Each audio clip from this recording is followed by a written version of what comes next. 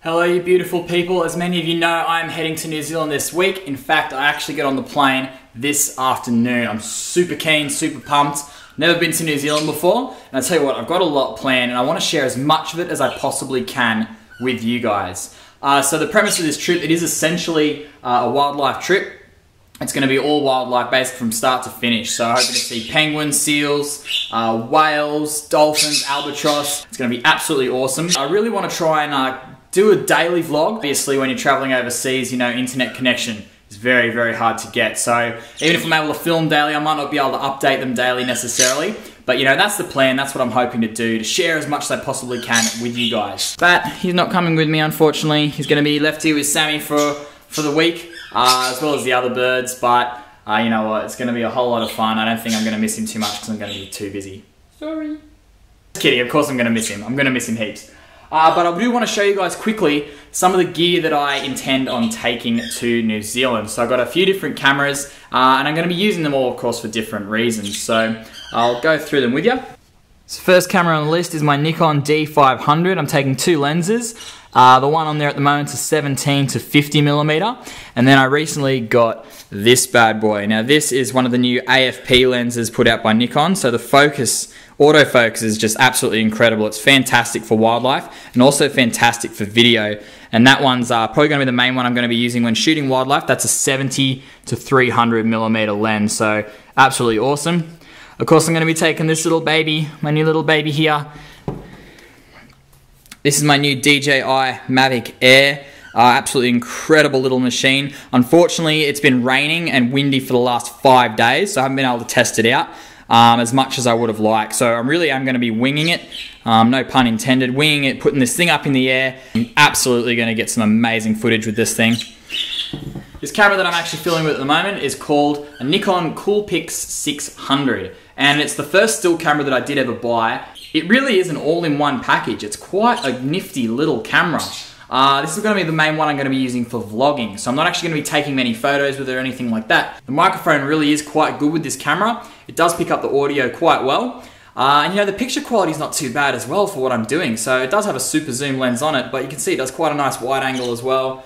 You can see me, you can see what's going on. And last but not least is my little GoPro here, GoPro Hero 5. So there's a Hero 6 that's come out now, which I've heard is pretty spectacular but this is what I've got. So uh, this is of course going to be used, you know, underwater. I've got the case for it, uh, but I do have to make some modifications to the skeleton case. I've been having a few issues with it. Uh, so I'm going to do that, then pack my bags, and uh, get ready to get out of here this afternoon. So it should be fun.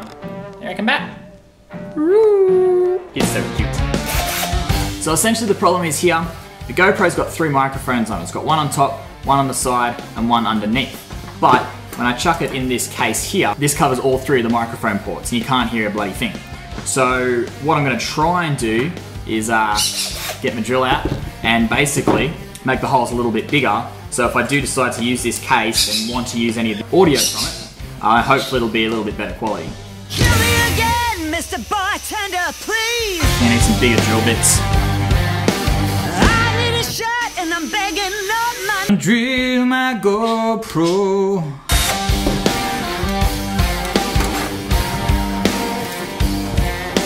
Those there looking at me doing this, thinking I'm gonna drill through my fingers, I probably am. Like, I'm just kind of going for it here. No safety, no, you know. What's OH&S? Wonder what would happen if I just like drill through the camera like.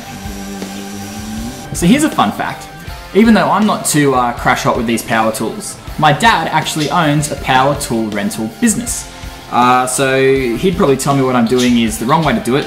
It's probably a stupid idea, and he'd probably get it done in about half the time because he actually knows what he's doing.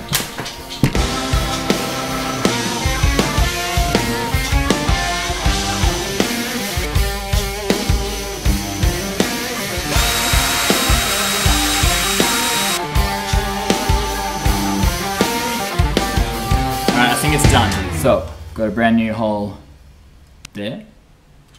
And a brand new hole uh, there.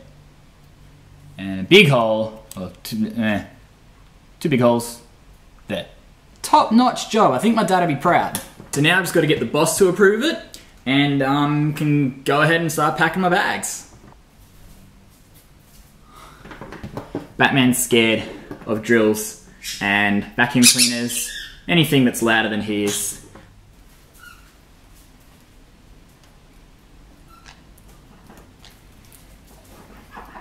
I think the boss approves. Oh boy.